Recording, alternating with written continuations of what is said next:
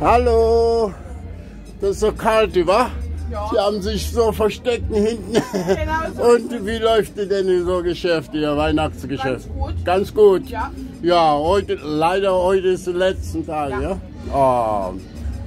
Also schauen Sie bei YouTube an, da sehen Sie Ihr Stand, okay? Okay, danke. Manuel Augusto, Okay. ja, einfach bei YouTube, Sie werden schon alles sehen. Alles klar. Von Eilenburg bis hier.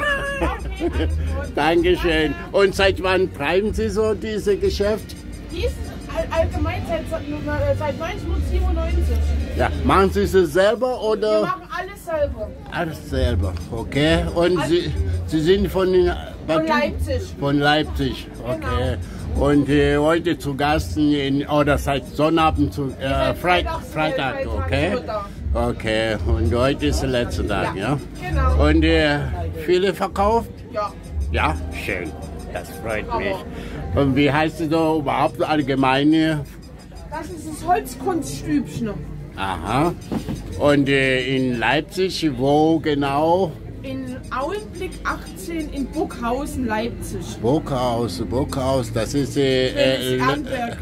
äh, das ist Löwencenter, die Genau. Ecke dort, äh. Rückmarsdorf, ja? Ja, Rückmarsdorf, genau. Okay, super. Dankeschön und frohe Weihnachten, ja? Danke.